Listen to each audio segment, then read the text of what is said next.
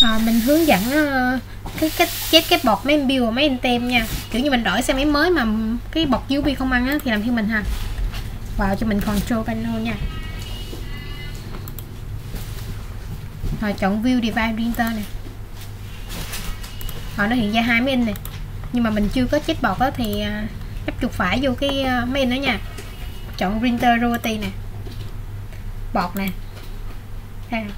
Theo chỗ này nó không có chết bọt nè bây giờ mình chết bọt cho nó ha. Bây giờ mình nhắm chuột phải vô cái in luôn ha.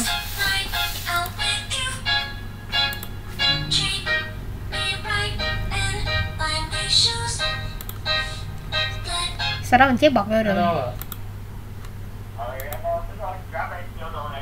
Nó liền, nó liền.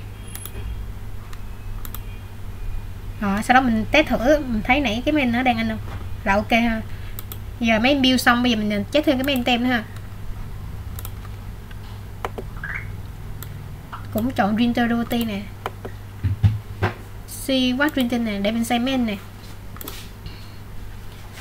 Vào phần bọt nha bọt nè.